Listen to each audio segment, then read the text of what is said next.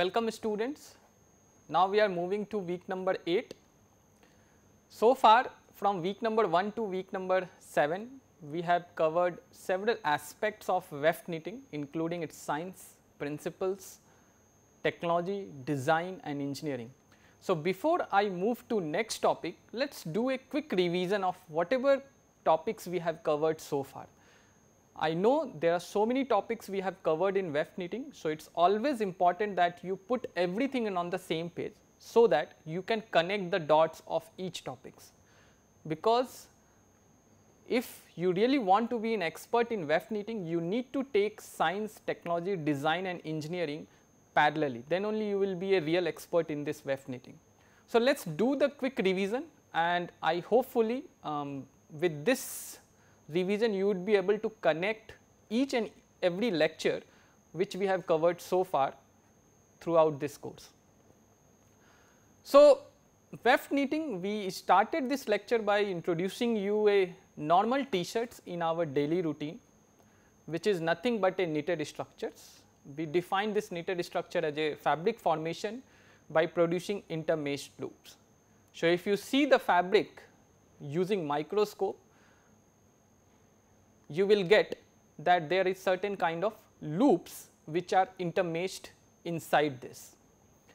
So, if you see a weft knitted structure, it is nothing but intermeshing of loops. So, the fundamental block which is used to make a knit structure is a loop and this loop are actually intermeshed with a old loop at the feet position and at the head position it are intermeshed by new loop.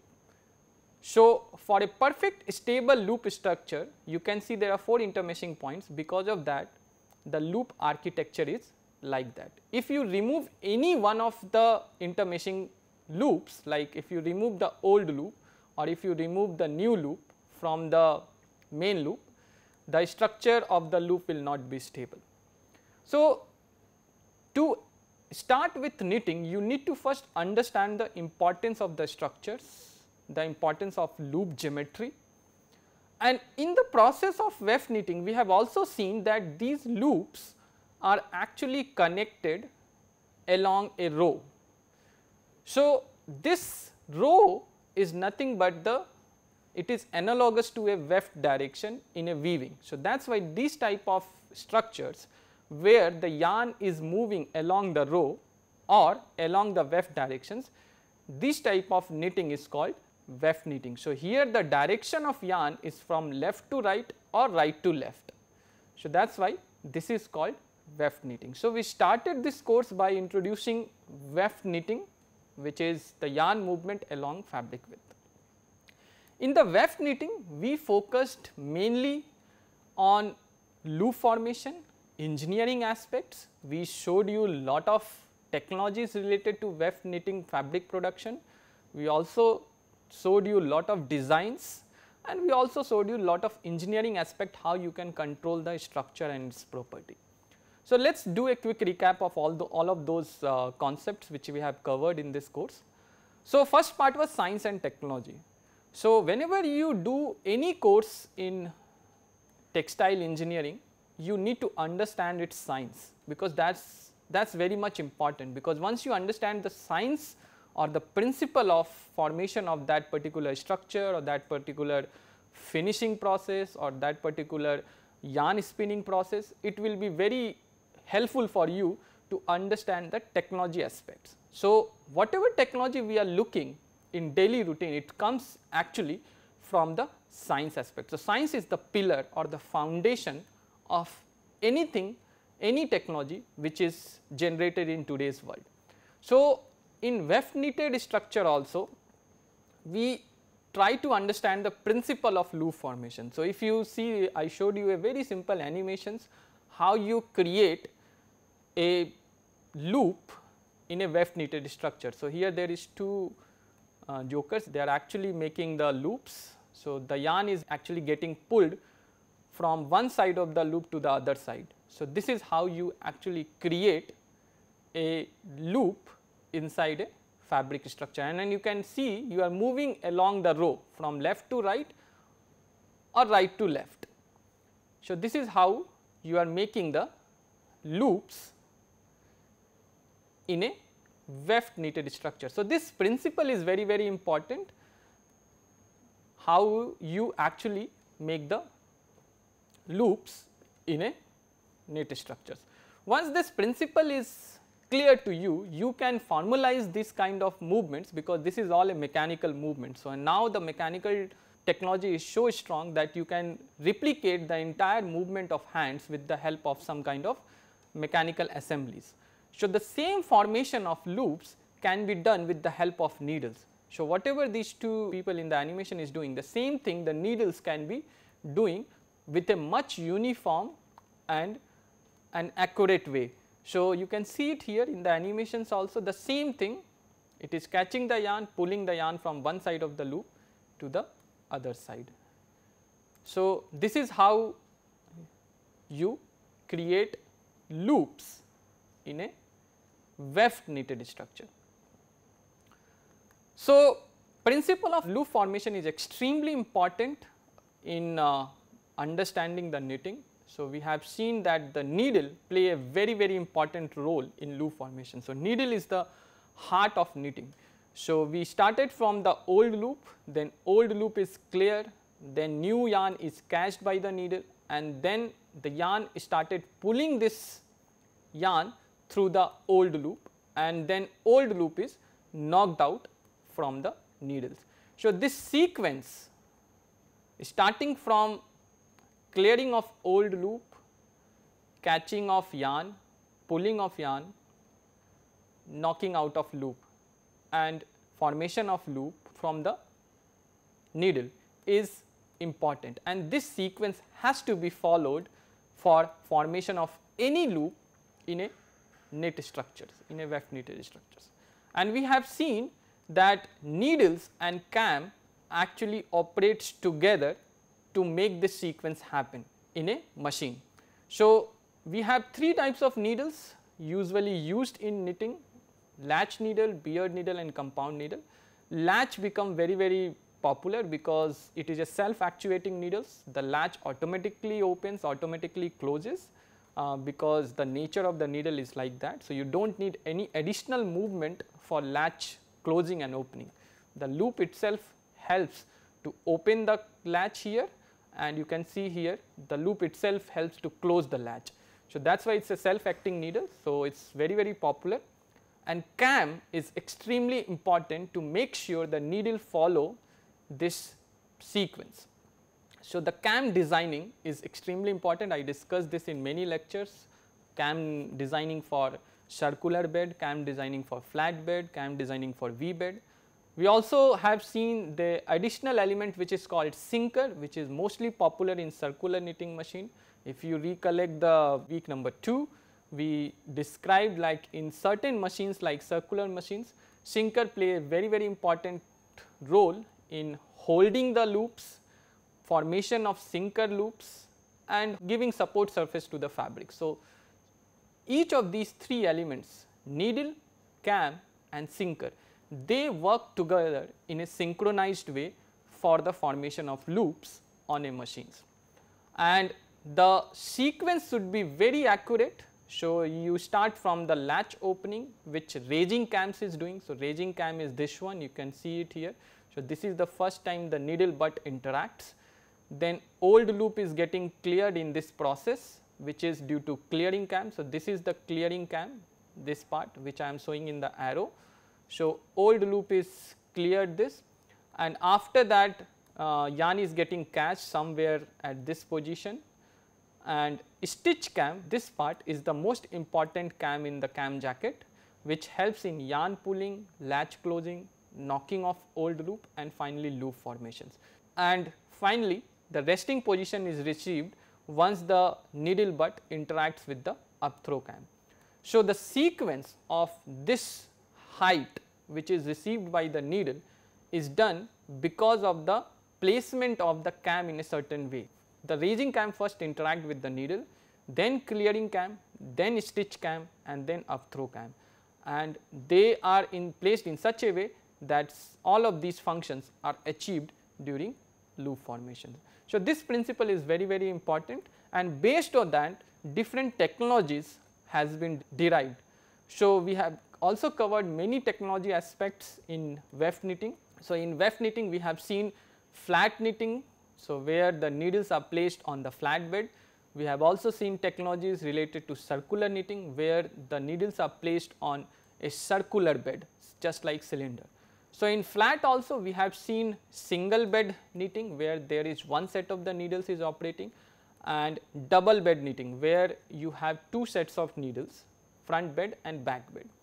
So, in double bed category also we have seen V bed where the both the beds are placed at 90 degree each other in the form of inverted V and we have also seen the purl knitting machines which uh, creates purl fabrics alternating courses are technical front and back and this is done by the help of double latch needle. So, these are the technologies which you will find in daily routine. I am not going in the functioning of these beds, but overall technologies is defined in terms of flat knitting machines and circular knitting machines. In circular knitting machines, we have also seen the machines related to single bed where there is only one cylinder. We have also seen machine related to two beds where there is a cylinder and dial so, in double bed circular knitting machines we have seen machines rib where needles are placed uh, in the form of rib gaiting and interlock machines where needles are facing each other and there are two sets of needle long butt needle and short butt needles. So, in weft knitting whatever company you follow their technologies actually falls in some of these categories. Nowadays full garment machines are also coming which is little bit complicated, but overall the principle of loop formations remain same and uh, either it will comes on the flat knitting or circular knitting. I have shown you the lab demo of operation of these machines. I have also shown you what type of fabric samples which you can create on these two types of machines. Let us do a quick recap of all those.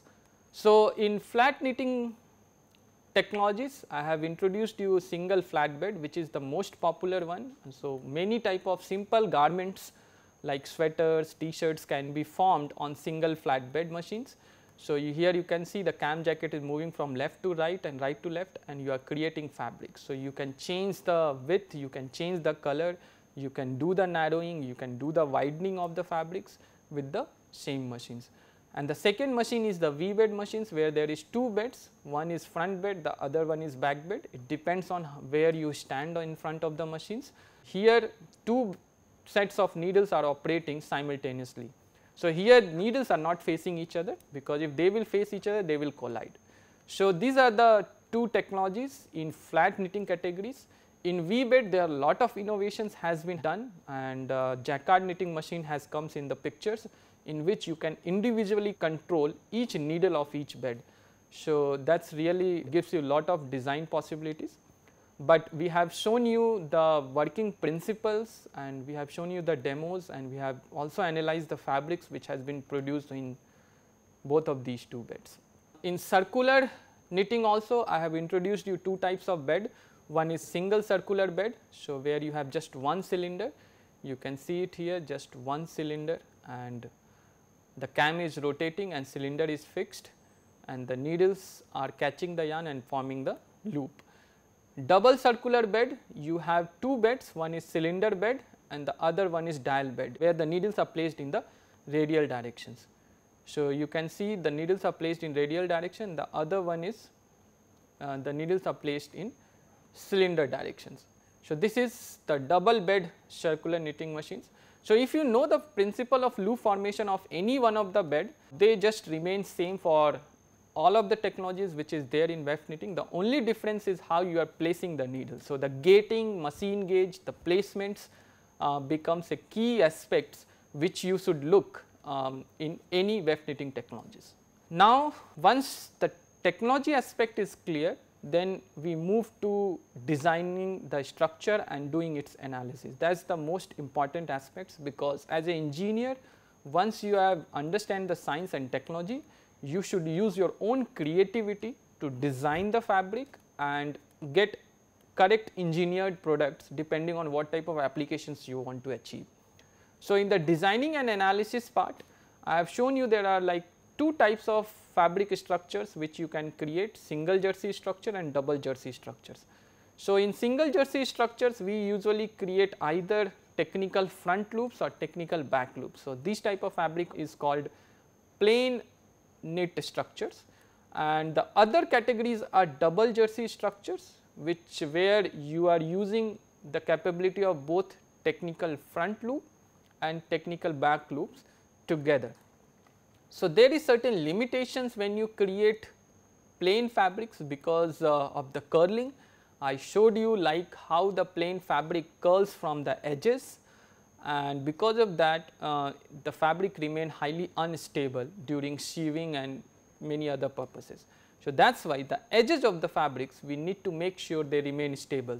So, there double jersey structures comes into the pictures and because of the limitations of single bed the technology moves towards the development of double bed and in the double bed machines usually we create double jersey structures where you have the combination of technical front and back loops on the same surface.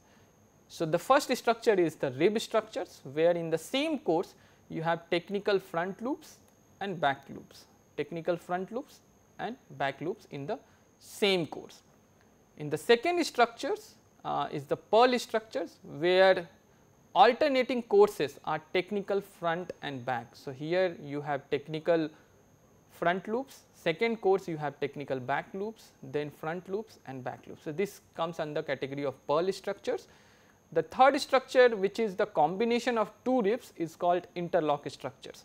So, this is usually um, created on interlock circular knitting machines. We can also create this on jacquard knitting machines, but the idea here is here we have to create two rib structures using two yarn feet. So, in the same course half of the needles will be operating in the next course second half of the needles will be operating from both the bed. So, this is how you create the interlock structures. Uh, we have also seen how these force structures the properties are different. Interlock fabrics are non-extensible and very heavy, the thickness is also high um, if you see the rib structures, it is more more extensible especially in width directions. Plain fabric is the lowest thickness and uh, it curls from the edges. There are a lot of uh, difference you can observe in all of these four structures. Uh, they play a very important role. It depends entirely on the designer aspects like how you want to place each of these structures at different segments of your t-shirts or sweaters or any garments which you create from weft knitting technologies. Apart from these type of structures, we also focused on some other aspects where we can control the elements inside the knit structures.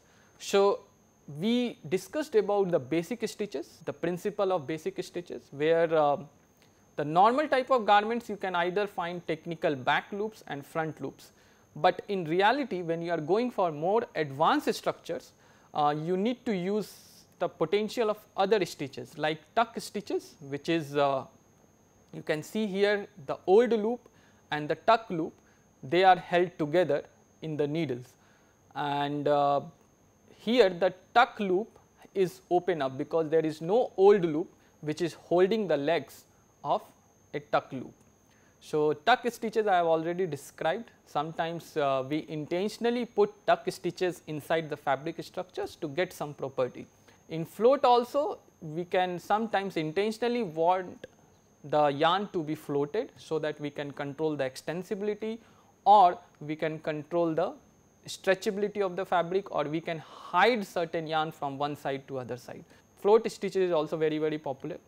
We also describe the importance of transfer stitches where you can transfer the one loop from one column to other column. Because of that you create a half loop where uh, you can see this black one, uh, this head is uh, intermeshed, but the legs are open because the old loop is missing for the black loop here at this point. Because of that you can create a pointelle, you can create a hole inside the fabric structure. So, irrespective of whatever structure you see in knitting, they will made up of all of these four basic stitches either technical back stitch, technical front stitch, tuck stitch, float stitch or transfer stitch. So, irrespective of any structure which you see in daily routine, they will be having the combination of these type of structures.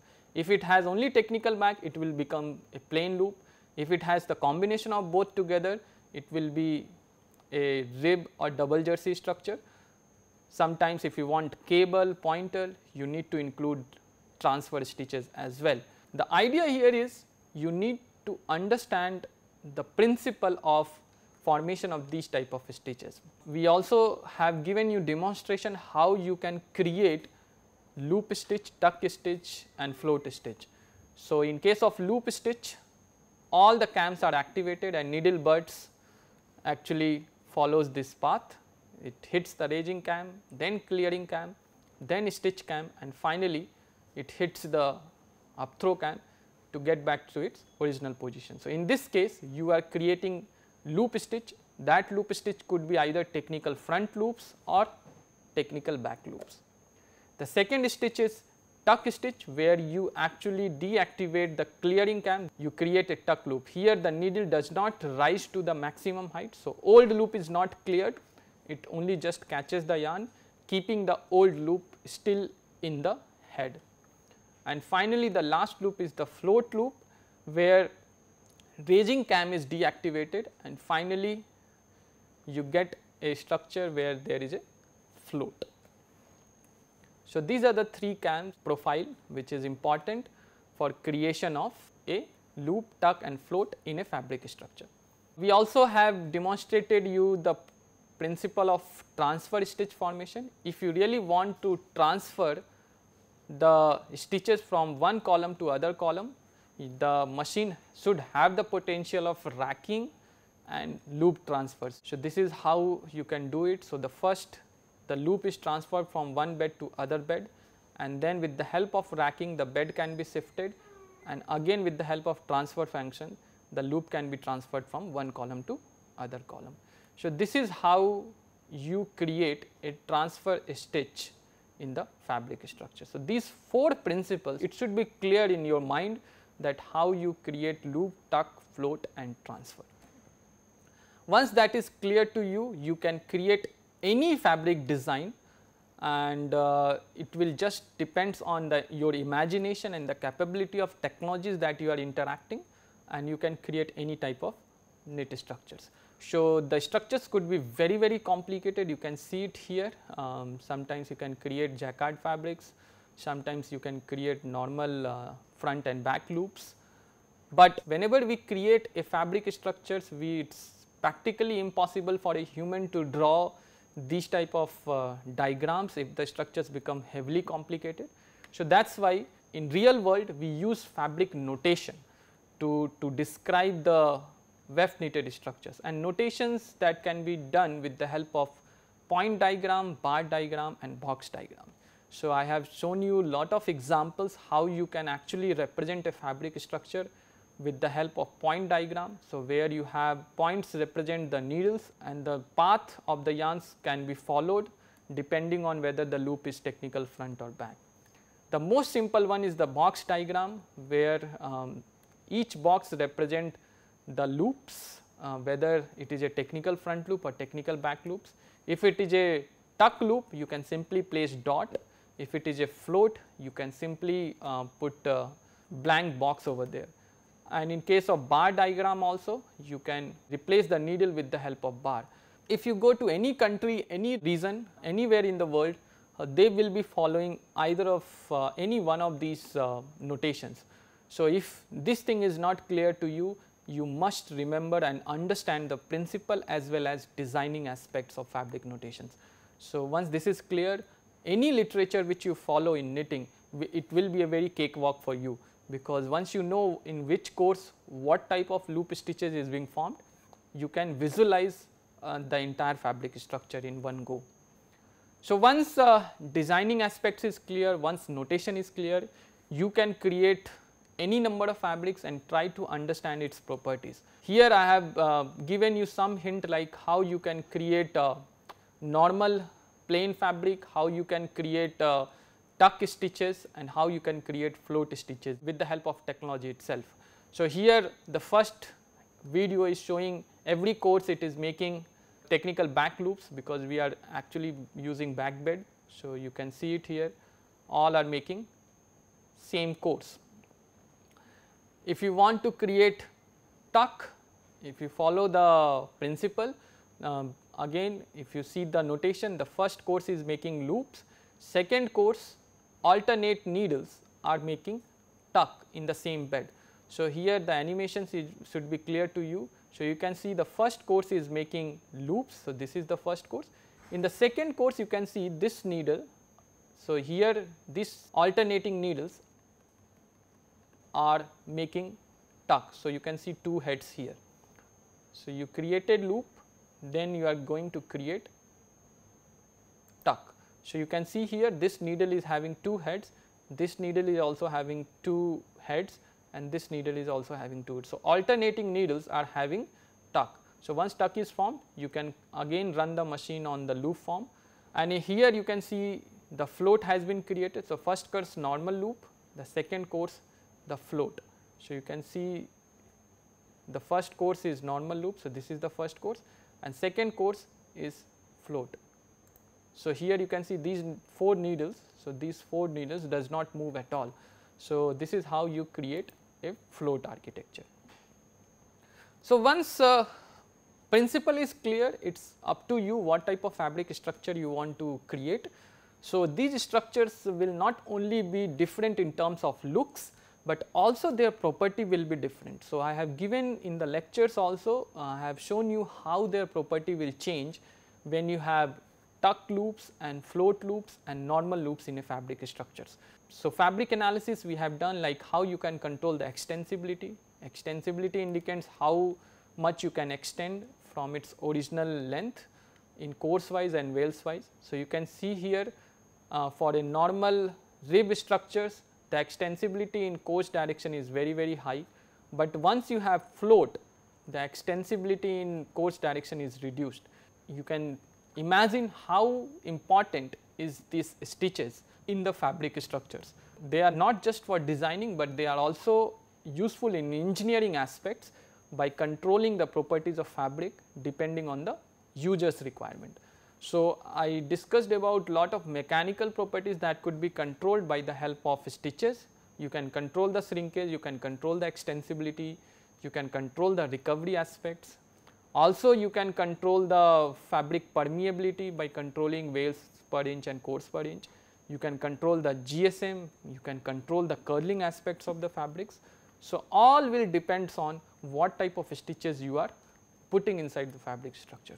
So, I request you all uh, you just not only remember these aspects, but also try to make these fabrics and do some analysis yourself because then only you will be appreciate the importance of these stitches in the fabric uh, designing as well as fabric engineering. Once design engineering and technology and science is done, I also introduced to some of the calculation aspects. It is rarely you will find any um, important book where all the calculations uh, will be listed in the same platform because you have seen in a knitting there are different varieties of fabric structures and each structure has its own importance and it's again depends on the creativity.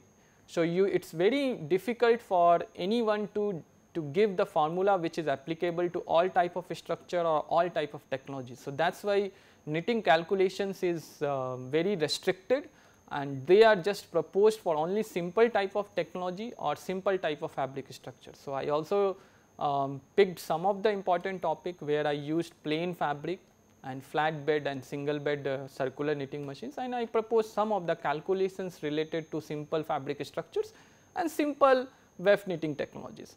Those calculations are uh, first one what type of yarn count we should be selecting because yarn count we cannot run any yarn on any technology. So, it is very important you need to understand the machine gauge, machine gauge is nothing but the number of needles per inch which is there on the machine bed. So, depending on the distance between two needles you need to decide the diameter of the yarn and diameter of yarn is again related with the count. So, the count whatever count you want to select it is directly proportional to the machine gauge square. So, for different technologies for different designs you need to have different formulas. Please remember these formulas are just empirical formulas it has come from the experience this is nothing to do with the theory or any science which is involved here it is purely based on experience and empirically they have derived the users have used different counts of the yarn and they realize for a particular gauge only this type of counts can be used. For example, for single jersey circular bed uh, the yarn count should be gauge square divided by 20. For flat bed if you are using single jersey fabric the gauge square by 15. So, you can see for the single jersey fabric when you are using sing single bed and circular beds the count is different. So, in, in circular gauge square by 20 in flat gauge square by 15. So, it again depends on how smoothly you can run a particular yarn on the machines this is again depends on the experience of the technicians which is running the machine. So, this comes from a vast year of experience they have done it for like 20 30 years and they come up with these type of useful relationship. Please remember when you change the yarn type or when you change the twist in the yarn these relations might not be valid. So, this is just for your um, simple uh, understanding, but these relations will keep on changing depending on the technology as well as depending on which type of fiber and twist you are imparting in the yarn. So, for example, the formula can be different for cotton yarn, the formula can be different from wool yarn, the formula can be different from high twisted yarn, low twisted yarn. So, again um, this is very very important for all of you to realize the importance of yarn selection. The second thing which I focused was the fabric production because company is mainly interested is how fast you can produce the fabric. So, we give you some of the important relationship where the production can be realized with the help of machine variables and fabric variables. So, if you know the course per inch and the RPM of the machine and number of feeders of the machine, you can find out the production in meter per hour. If you want to find the production in kg per hour, uh, again the with the help of some other parameters, the relation is given to you. I have also given you some of the examples, we solved this in the class also uh, I hope you can revise those examples for um, getting understanding of this fabric production on circular machine. Similarly, on flatbed machines again you can calculate the production in meter per hour and kg per hour. Um, the formula is given to you V is the carrier speed, E is the efficiency of the machine in percentage, C is the course per inch and W is the transverse length how much needles you are using on the bed and how much length it is acquiring on the bed. So, uh, with the help of these uh, simple formulas you can calculate the production on a particular technologies. Please remember uh, production will keep on changing depending on the design of the fabric. So, whatever formula I am giving to you it is not applicable for all the designs and all the technologies. So, please you need to derive these formulas depending on what type of technologies you are using for fabric production and what design you are creating in the on the machine. So, I have given you the process of derivation of these two formulas. So, once you know that process you can derive the equations for other type of technologies as well. So, please follow the same process in the production calculation on different technologies. Um, other thing I described was geometrical relationship uh, for finding the relation of loop length with other fabric structural parameters. So, we found like some scientists uh, in 1950s and 60s they found that the loop length is the most important parameter in a knit fabric and most of the structural characteristics can be explained by loop length. So, they proposed uh, especially it was the Munden who proposed Munden constants through which once you know the Munden constant uh, you can find out the course per inch of the fabric using loop length. Similarly, you can find Wales per inch of the fabric using loop length. You can find stitch density which is number of loops per inch square with the help of loop length.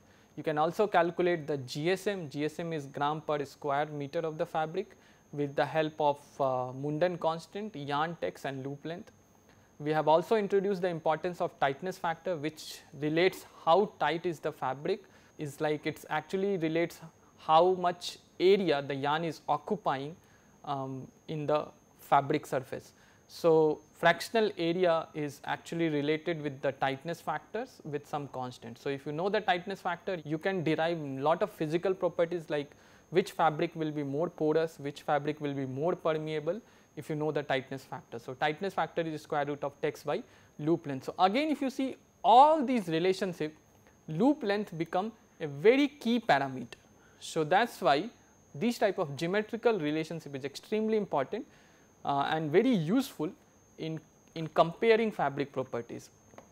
Please remember again these type of formulas are only valid for simple type of plain knit structures. This is not applicable for um, all the fabrics where you have tuck design or float design or where you have transfer designs there you need to go for different types of derivations especially all these derivations is only applicable for plain fabrics. So, um, I have given you the step by step derivations of each of these formulas. So, once you want to derive for any other fabric designs please follow the similar steps and you can follow some other literatures which is available um, and you can get some other geometrical relationship for other type of fabric structures. Last uh, because circular machine is uh, very much used where multiple feeders are used in the same course. So, that is why um, spirality angle. So, the yarn which is used to make one course, the course actually follows the spiral path because of the nature of the fabric production. So, you can see the course actually follow certain angles. So, the, the symmetric of the fabric is lost. So, that is called spirality. So, you can have positive spirality, you can have negative spirality. So, depending on the rotation of the fabric and number of the feeders, diameter of the machine and the course spacing you can get the spirality angles. So, if you want to minimize the spirality you can go for S twisted yarn or Z twisted yarn depending on what type of spirality you are creating uh, because of uh, fabric production on a multi feeder circular machines. This is again a very small topic uh, there are a lot of other calculations related to knitting is there in the literatures, but I think that is not the part of the uh, scope of this particular course. I recommend all of you to please follow those uh, derivations and calculations from other literatures and uh, try to understand the other aspects. So, I have carefully selected those topics which I can relate with my previous lecture. So, that is why I have chosen some of these topics in knitting calculations. Uh, after that once the basic science technology design and engineering was covered, I jumped to advanced knitting technology and design where I have given you the importance of advanced machine which you can find in the market especially jacquard knitting machines um, where uh, you have many advanced functions especially racking and loop transfer which is not possible in manual V-bed machine uh, you have automatic feeder selection, individual needle selection, multiple cam carriage systems, automation in cam movement, stop motion, tension control, fabric takedown. So, all these advanced functions is now coming in weft knitting and uh, each of these functions are helping users or designers to achieve uh, more complicated fabrics and also achieve more uniform fabrics. For example, racking and loop transfers you can see it here this is the racking when the loop is transferred from one bed to other bed. So, this is again very advanced function and the other one is automatic feeder selection. So, in the second video you can see you can anytime you can select any feeders depending on uh, what you want to create. If you want to create stripe design you can play with multiple feeder selections. Uh, you can also um, create individual needles for um, any stitch formation which is not again possible on manual V-bed machines. So, here you have individual control on each needle for example, you can see this all is making loop, but uh, here you can see one is making tuck and one is making float. So, individual needle selections uh, is also possible in advanced knitting uh, multiple cam and carriage system. So, here you can see for increasing the production you can have multiple cams in the same carriage. So, at a, in one go you can create 3 courses. So, here you can see 3 cams are moving left to right with the help of one carriage. So, sometimes you can have 2 carriages and multiple cams in this case the production will be very very faster. Uh, automation in cam movements you can see automatically the machine is catching each feeders so, this process is automated, you do not need to use your hand.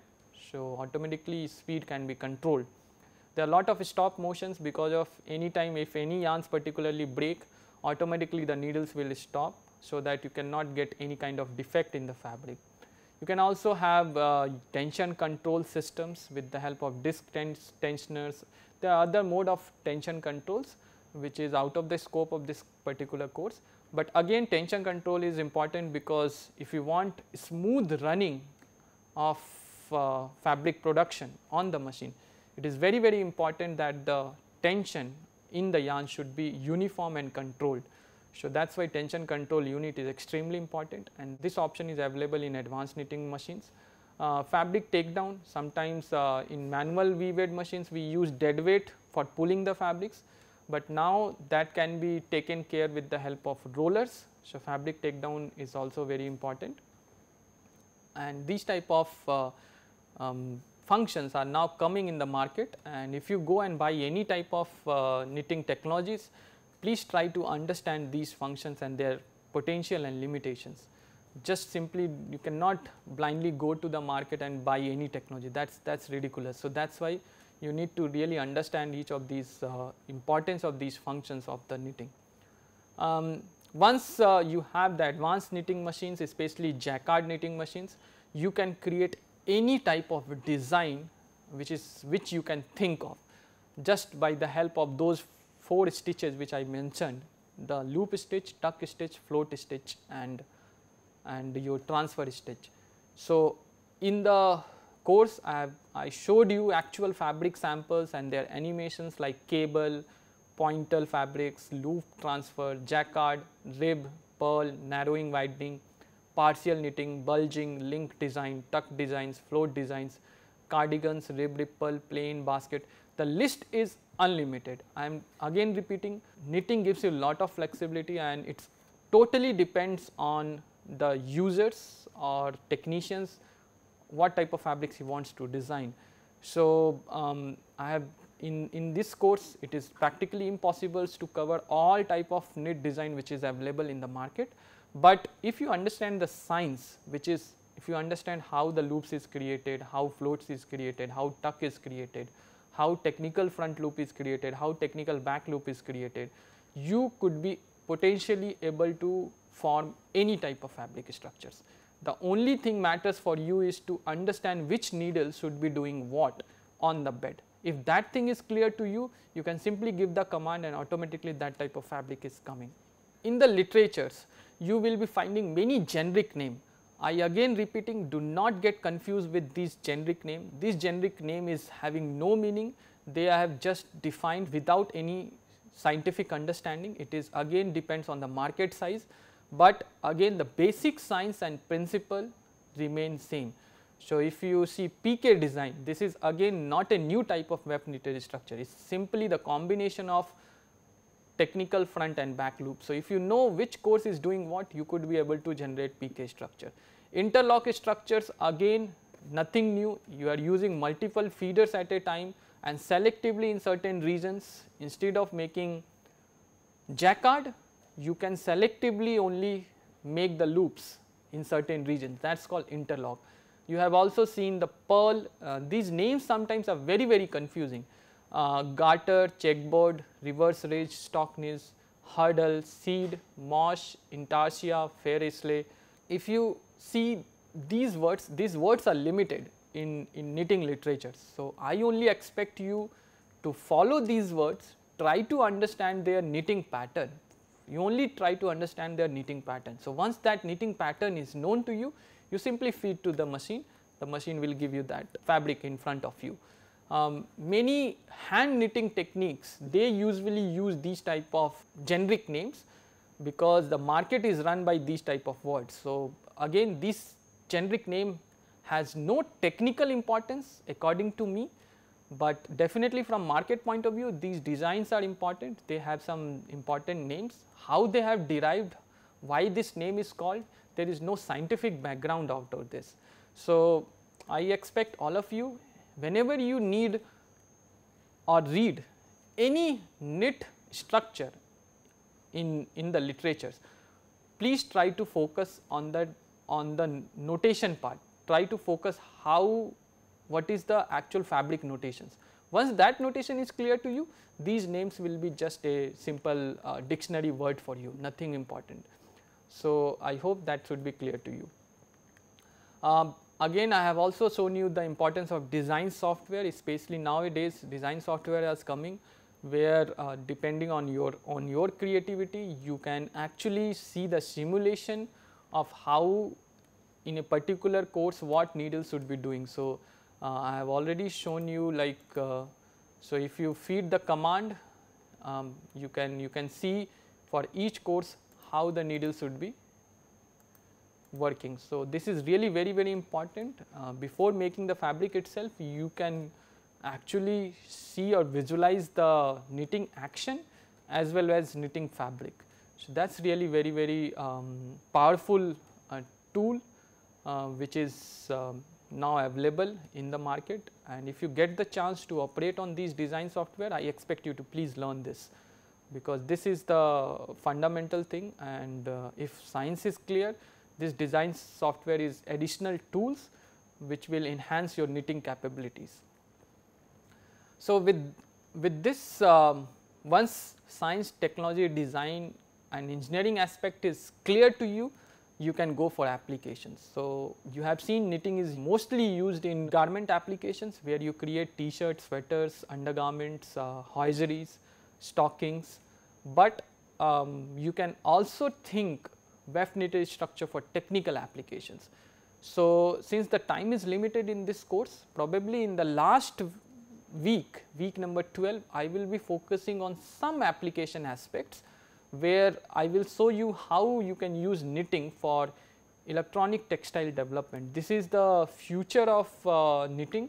Actually, you, if you have the good background of electronics and computer science, you can actually insert material sensors inside the knit structures and you can go for health monitoring products. You can also think for designing a sports garment uh, with unique properties, unique capabilities if your design and engineering aspects of knitting is clear to you. So, this is more technical application, it is not garment applications where design is not important rather the capability of the structure or the engineering aspects is very very important. So, in the last week if I will have time I will try to cover some of these uh, products uh, in the in the lecture itself. Uh, nowadays uh, especially for last 5 to 6 years shoe uppers has become very very important you might have seen these shoe uppers again this is nothing but a weft knitted structures with the help of uh, fusing yarns and normal yarns. I will try to show you some of the samples also how we create it. If you know pointelle, if you know jacquard design, if those things are clear to you, this uppers is just like a cakewalk for you narrowing, widening, it is a combination of narrowing, widening, cable, pointelle, jacquard, uh, technical front and technical back loops. So, these uh, shoe application again a technical applications now it is very very much used in the market. Um, again the other application is the composites where you can design the structure for composite applications and the next structure is um, cut resistance again a very good technical product. I, if I will get time I will show you technical products how you can use the structure for controlling the shear resistance of the uh, fabric. So, these are technical aspects. So, once things are clear to you I, I, I would expect all of you who is listening to this course to explore the knitting potential in new domains not just restrict yourself with simple machine or technologies keep looking, keep venturing new and new ideas, new and new applications. So, with this I am ending weft knitting technologies. Now, we are going to move to a new aspect of technology which is warp knitting which is even more complicated, interesting and uh, I hope you will like the next lecture. So, thank you very much, uh, enjoy knitting, thank you very much.